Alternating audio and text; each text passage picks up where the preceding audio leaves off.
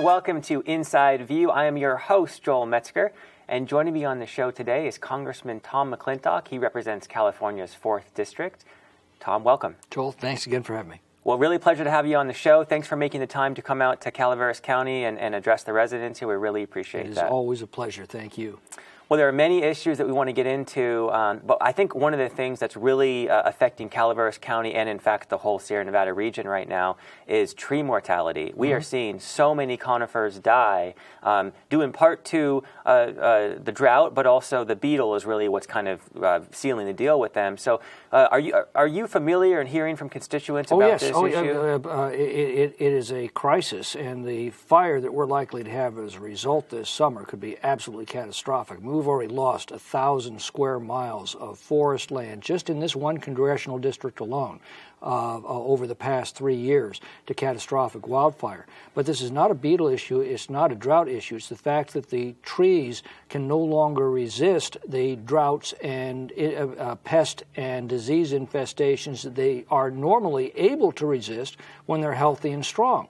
The problem is uh, we've stopped thinning our forests 40 years ago. Uh, trees that used to have plenty of room to grow and thrive are now fighting for their lives against other trees trying to uh, occupy the same ground. And in that weakened condition, in that stressed condition, uh, they have much more difficult times surviving outside stressors uh, like pestilence or, uh, and drought. Uh, the amount of groundwater that is absorbed by these o- catastrophically overgrown forests is enormous. had they been properly thinned, even in a drought, there would have been sufficient water to keep the uh, trees healthy. Uh, when beetles bore into trees, the tree's natural defense is to secrete uh, sap that kills them on the spot, uh, uh, suffocates them. the problem is uh, in a stress condition, they cannot create the sap that's necessary to stop these beetles, so the beetle comes in and kills the trees. Uh, we've now lost 85% of the pine stock in the uh, Sierra National Forest to bark beetles, and that infestation is growing and it's moving, moving north. Well, that's terrifying for Calaveras County. We were just added to uh, one of the counties that's in a state of emergency and, and part of the task force, the tree mortality task force. Uh, but we know we haven't even seen close to the worst of it yet. Just yep. Tuolumne to the south of us is already starting to get quite a few dead right. trees. And here's here's the math of it. Uh, uh once this acreage is destroyed, uh, uh, whether by the stresses of drought, bark beetles, whatever, it costs about sixteen hundred dollars per acre to come in, clear out that dead wood, and replant of uh, we've got 193 million acres of national forest land alone. You can do the math on that. There's not enough money there to begin to make a dent. The good news is that within those 193 million acres, if we were properly thinning the forests so that they would be resistant to uh, drought and pestilence and disease, uh, we could be generating, and we used to generate, about $300 per acre per year from that acreage. Uh, uh, that could over time repay the reclamation costs uh, that are currently beyond reach. The problem is we can't do that as long as the environmental laws that are in place make it cost prohibitive. Um, you know, the National Forest Service typically loses money on timber sales. Uh, uh, which is a remarkably difficult thing to do in the timber industry, but it's because of the enormous amounts of time and resources that are consumed to meet environmental demands. Um, and the irony is this we've had those environmental laws in place now for 40 years. For 40 years, the environmentalists promised us that these laws would improve the forest environment. And I think after 40 years of experience with these laws, we're now entitled to ask, how's the forest environment doing? And the answer is absolutely damning. You can see it all around us. So, so policies that not only failed to achieve their objectives, but actually accomplished the opposite of their objectives uh, uh, once we observe that, maybe it's time to go back and revisit those policies. The House did that with the Resilient Federal Forest Act last year. It begins to relax the restrictions that are keeping us from properly maintaining our forests. Uh, uh it passed on a bipartisan vote out of the House. it's being blocked by Senate Democrats at the behest of the president. Uh, and that's a tune that we hear over and over again. There's another component to this that I think is crucial, and that's the component of fire. Mm-hmm. Not only has logging been stopped in many areas, but fire has been suppressed. How big of a deal is that as part of this unhealthy forest result? Well, the the the, the uh, the, the, the, the, loss of proper forest management 40 years ago has made these catastrophic fires now commonplace. Uh, I was up at the uh, command center at the King Fire uh, two years ago. Uh, and usually, when you go to command center, um, it, it, they're very, you know, these are professionals. They're calm, they're analytical, they're in control of things. Uh, they were scared that day. they thought they were going to lose both Georgetown and Forest Hill to this fire. The entire towns of Georgetown and Forest Hill, they were expecting to be wiped out. Uh, and by the way, had that happened, that fire would have then gone on and just decimated the Tahoe Basin, uh, which has about four times the fuel load it's supposed to have right now. Um, and one of the firefighters, one of the old guys, with tears in his eyes, comes up to me and he says, Congressman, I can't even get to this fire on the ground. We used to have good timber roads. I could get equipment in there. I could get, I could put these fires out on the. He says, I can't even get to them now. All I can do is drop stuff from the air and pray to God the wind shifts. And if the wind hadn't shifted that day, Georgetown and Forest Hill would be history. And to bring this closer to home, the Butte fire just completely devastated Calaveras County due to similar circumstances. Fuel load that had not been managed for up to 100 years in some yeah, cases. when I was at the command center for, for Butte, I asked the, uh, uh, the firefighters there, you know, what message can I carry back to Congress in your name? And what they said was tell them that treatment, forest treatment, works. Where the land was properly treated, the fire slowed, we were able to extinguish it uh, but there's not enough of it out there anymore. And, and the reason is because the environmental laws have made it impossible for us to manage these lands. Well, and I, w- I want to touch on, on natural fire one more time because if you go back to the earliest pictures of California, they show nothing like the forest that we see today. Mm-hmm. It's, it's widely spaced trees, large trees, and that's because we had frequent low intensity fires that did not get into the crown and kill everything. Mm-hmm. So before there was ever a tree cut down by a chainsaw, the nature was managing the forest well. Is there a component of allowing more well, it, fires? It, it was and it wasn't. You know, as Hobbes said, in nature, uh, uh, the, the state of life is uh, uh nasty, brutal, and short of um, we decided long ago that to preserve the, the forests for future generations, we would manage those uh, forests. That means we wouldn't allow fires to wipe out entire sections of land and require a hundred years before those uh, those forests came back. We would properly manage them. We would take out the uh, uh the big trees before they burned, uh, giving plenty of room for new trees to, to, to grow. Um, those are the policies that the last 40 years have reversed, and um, uh, and now we have catastrophically overgrown forests, and now fires taking them out. You know, forester told me a long time ago, all that excess timber comes out of the forest one way or another. It's either carried out or it's burned out, but it comes out. When we carried it out, we had healthier forests and we had a thriving economy. Uh, and because we had fewer forest fires, uh, uh, we had uh, uh, those forests available for the public to enjoy year after year. When the radical environmentalists took control of these policies and reversed them, we've seen exactly the opposite. Now, catastrophically overgrown forests, uh, as I said, a thousand square miles of, of incinerated forest land just within this district alone over the last three years, and, and trees falling victim to disease and pestilence and ultimately catastrophic wildfire. And this is an absolute crisis because it's just too big. I mean, yeah. we, we cannot fix this problem in a year. I mean, this would be 10, 20 years of dedicated huge funds to actually go and thin the forest. So that seems insurmountable. How do well, we handle I'm, this? I'm working on legislation right now that will uh, uh, dedicate about $300 million a year to reclamation of that, you know, those lands that uh, have been declared uh, uh, disasters by the, by the states. Uh, it would be repaid over a five year period by uh, restoring timber sales to the remaining healthy acreage that we have, get that excess timber out before it burns, and then use the proceeds of that to pay for the reclamation that's now required. Uh, you know, one of the great ironies is um, the public lands are, are such now just a disaster. The private lands that are not subject to a lot of these environmental regulations are very well managed. And I got that lesson touring the, um, uh, the King Fire uh, site last year. This was one year after the fire. It was a year ago. Uh, uh the fire was two years ago. Uh, as we flew over, you could tell exactly where the public lands stopped and the private lands managed by Sierra Pacific Industries began. Uh, the, the, public lands uh, looked like a giant had taken 40 foot toothpicks and just stuck them side by side as far as you could see. The moment they hit that property line, you could see how the fire began to slow and break up because those lands had been properly thinned and managed. And when, they, when the fire slowed and began to break up, they could put it out the areas of the private lands that had been destroyed by the fire had been completely salvaged. A portion of the salvage proceeds had then be, been used, and they were in the process then of replanting those forests. So within a couple of years, the private lands killed by the fire are going to be green, healthy, thriving young forests. On the public side of that same property line, uh, uh, the, the, lands were completely abandoned. Within a couple of years, uh, uh, uh, four to eight feet of dry brush, four to six feet of dry brush, is going to grow up uh, because brush has first claim on fire damaged land.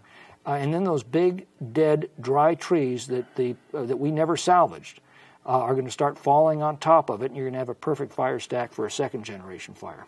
And then that will completely incinerate everything again. We're back to brush. Yep and, so, and sterilize the uh, the soil at the same time. That's how intense those second generation fires can be. What would be the number of years until we would see a timber stand? About a century.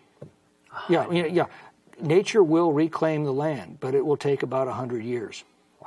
I mean, so not in our lifetimes. Correct, correct, or, or for, for, that matter, in, in, in, many of our children's lifetimes either. You know, that's why proper forest management is essential. That's why the Resilient Federal Forest Act of, of 2015, which restores proper forest management practices, is so essential. Uh, uh, that I think is why it passed the House on a bipartisan vote, and why it is so outrageous that Senate Democrats and the Obama administration would be blocking it in the Senate.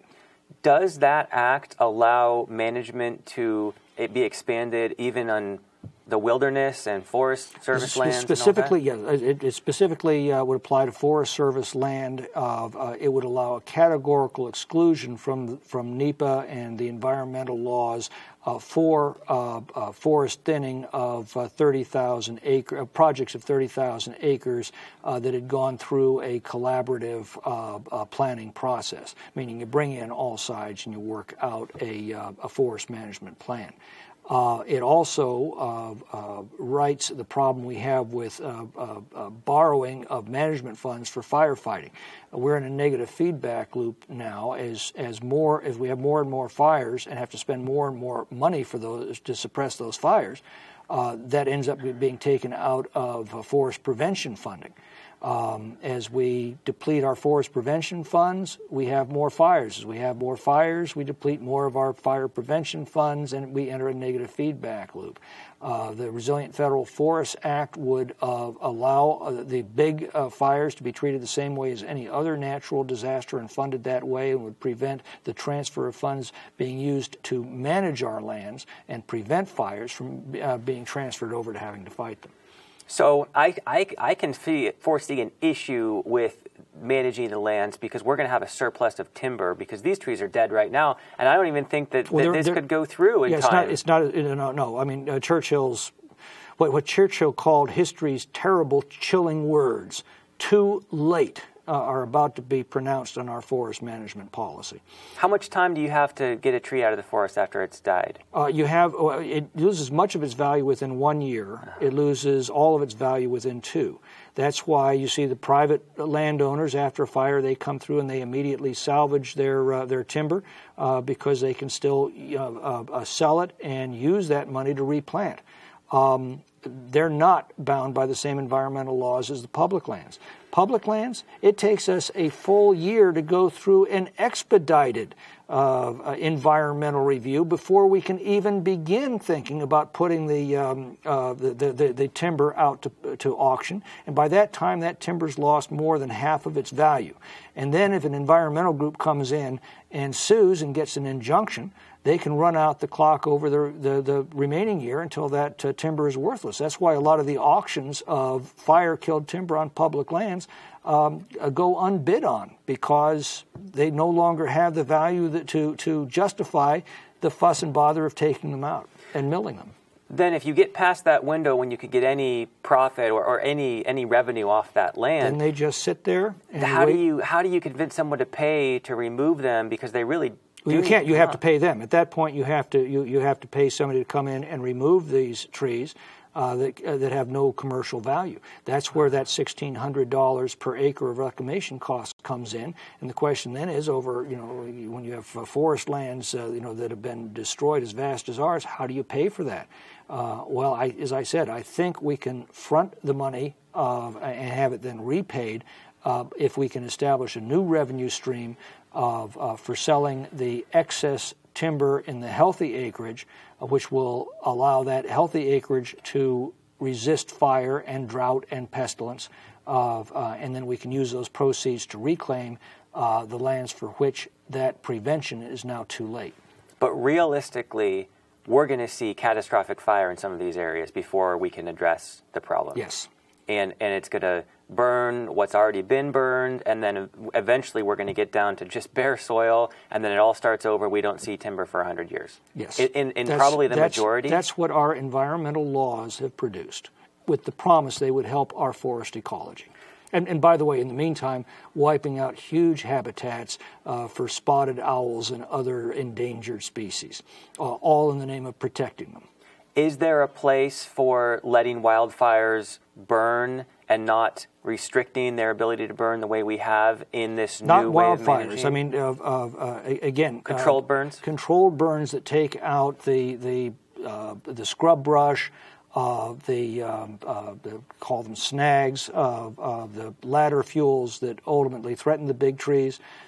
that's that's the kind of fire that you're talking about.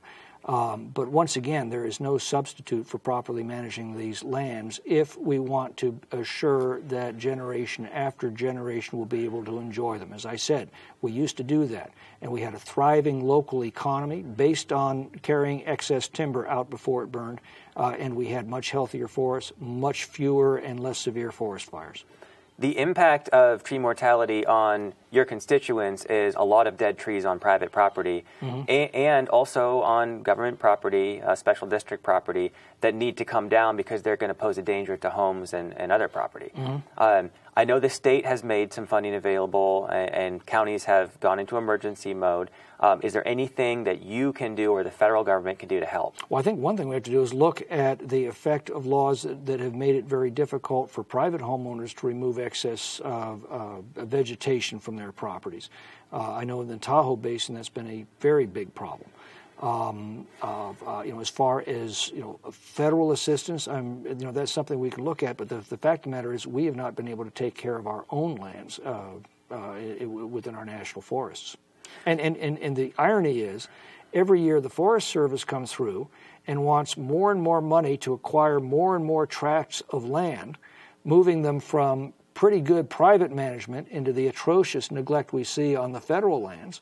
Uh, uh, Congressman Louis Gohmert of our subcommittee uh, described that as uh, uh, she, she, said the federal government starts to look like the old uh, miser in town who's got the biggest house in, in town, the paint's peeling, the roof is collapsing, the, the grounds are overgrown with, with weeds because he spends all of his time and money plotting how he's going to buy up other people's property. Uh, you know, that's essentially what the federal government has been doing with uh, land management and land acquisition. What we're trying to do is shift funding for acquiring more land into taking first taking care of the land we already own. I, I had uh, heard that FEMA may make some funds available to help with the tree removal process um, if if that works out. Have you heard anything about that? Or I mean, uh, uh, my understanding is that we can't do that given the current uh, uh, limitations on FEMA funds. Uh, and we have inquired as to how we can change those laws to allow these funds to be used for that purpose. The problem is that that opens up a huge can of worms because once you go to, to preventative measures, uh, then the question becomes well, shouldn't we be preventing the damage caused by hurricanes and floods and so forth. Uh. So yeah, I mean we we've already explored that avenue and we got a lot of pushback on it. So I don't think that's going to be a practical. I'd like to see it, but uh, uh, for for uh, you know to assist people in in uh, coping with with uh, uh, removing dead timber. Actually, because you know the, the, if, if, it's a beetle infestation, that beetle infestation is, is, has been spawned and generated on public lands. Uh, the private landowners uh, are then bearing the brunt of that. Um, but that avenue did not look very promising when we explored it. But there certainly is state funding available to help people, and they can work through their local county government to access and, that. And, and of course, our office will be happy to assist in, in looking for any sources of funding that might be available to an individual based upon their circumstances. But uh, I, you know, I don't want to give false hope. We we looked at trying to get the FEMA reforms necessary to allow that for uh, uh, prevention activities, and we ran into a dead end. Okay. Well, let me throw you a softball. Can you just explain the California water crisis to us? Well, it's real simple. um, uh, droughts are nature's fault, they happen. Water shortages are our fault. Water shortages are a choice that we made a generation ago when we stopped building new reservoirs uh, so that we could uh, take water from wet years so that we have plenty in dry years. Uh, we now have uh, you know, in, in, the, the last major reservoir in this state was the New Melones, uh, over a million acre feet uh, in 1979. Uh, and in that period, uh, the population has nearly doubled. We don't have the storage capacity to hold water from wet years so that we've got plenty in dry years. Instead, we see it wash out to the ocean. and that is a huge problem. And then we mismanage the water that we do have remaining behind our dams, again, environmental regulations, uh, requiring us to squander huge volumes of water, even amidst a catastrophic drought like the one we just came through, uh, to control water temperatures for fish. New Melones is something that many of our residents see every day and it's it's scary how low it got uh, during the end of 2015, and even after a fairly normal season, it's still very low. Can, can you help uh, shed some light on why? Well, again, the environmental laws require mass releases of water, uh, mainly to adjust water temperatures for the fish. Uh, in the uh, uh, in the case last year, uh, we had an enormous amount released out of New Melones to nudge. I think it was a couple of dozen steelhead trout uh, uh, smolts to swim to the ocean, which they generally tend to do anyway, and they all get gobbled up before they get there by non native predators, which is completely beyond the ability of us to control with water temperatures. But in the meantime, we bleed off huge amounts of water to meet these environmental requirements. We're going to see that right now uh, in the northern part of this district. Uh, uh, with Folsom uh, Lake. Folsom's about a million acre feet of water storage. it had to be drawn. It, we saw enormous releases out of that dam for flood control purposes because we didn't have the, the extra capacity to store it.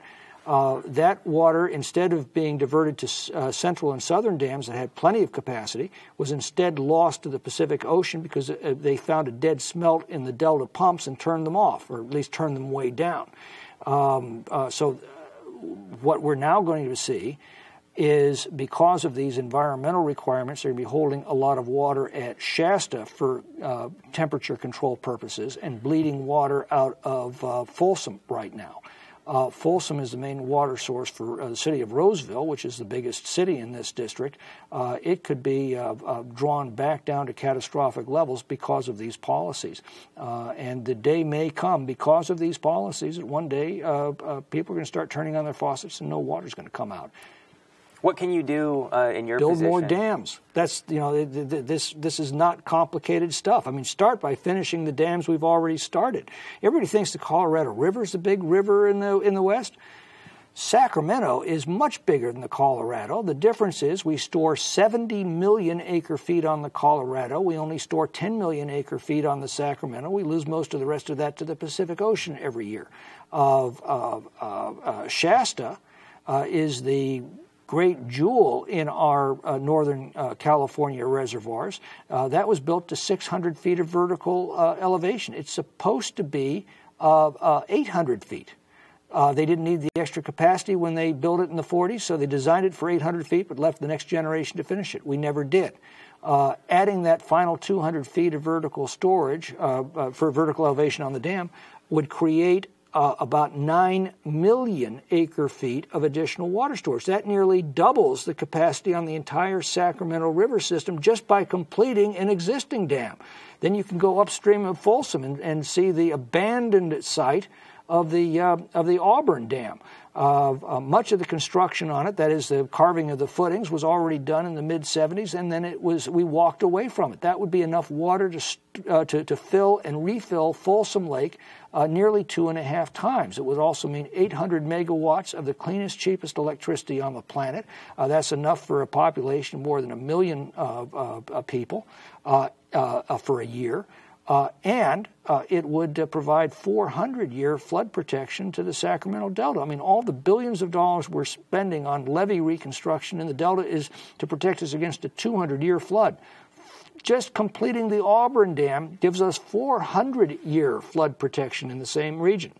So, and, and, and that's before we even look at, at building new dams. And there are plenty of sites for that. Uh, uh, uh the Sites uh, Reservoir, uh, Temperance Flats. we have many, many other reservoirs, both on stream and off stream, we could be constructing. But we've not constructed a major reservoir since 1979. and we're actually seeing efforts by the environmental left to tear down existing dams. They're trying to do that on the Klamath. Four good hydroelectric dams to be torn down there at an enormous cost. And by the way, that cost is going to be paid out of the water bonds that Californians uh, supported, thinking that was going to go to more water storage. And they're actually using that money to tear down existing dams. Everything we hear is that we need to conserve our way out of this drought. What are your thoughts on that? You can't conserve your way out. Conservation is important management tool in a crisis, but it does not add any additional capacity. It manages a shortage, it doesn't solve it. Uh, the only way you solve a shortage uh, is with more capacity. And again, the good news is we live in one of the most water rich regions of the country. We have plenty of, uh, of uh, geologically uh, appropriate uh, sites for additional reservoirs. we can store that water very cheaply so that we have it to use in dry years. Uh, uh, and, and not only that, but also provide the flood protection and hydroelectric generating capacity uh, that we need. Uh, the problem is we made a conscious political decision not to do that. And we're now living with the result of that decision. It, it, dates back to the, the same period of the 1970s when these environmental laws that we were talking about that have devastated our forests were, were enacted. So, uh, in the final minute we have, I mean, is there hope to, to change yes, these policies? I, uh, again, these are these are not you know mysterious acts of God. These are all choices that we made when we stop building dams, when we stop properly managing our forests.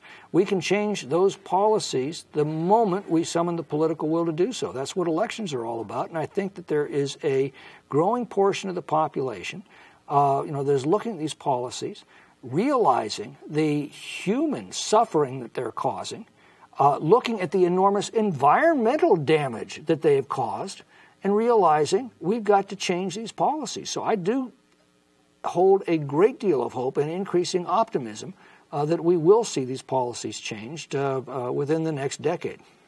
Congressman, thank you as always for joining us on the show. We appreciate your time. My pleasure. Thanks again for having me. And thank you for joining me on this edition of Inside View. I am your host, Joel Metzger, and I hope you join me next time.